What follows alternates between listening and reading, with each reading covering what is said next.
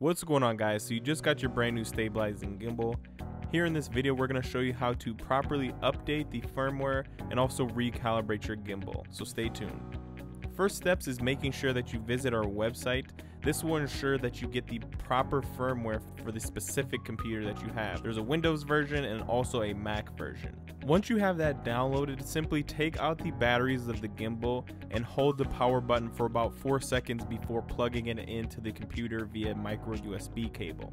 Once that's done, hit search and find the proper firmware for your specific gimbal. Once you find the firmware, just hit confirm and it will swiftly update your firmware. Very easy. Next step is actually calibrating your gimbal.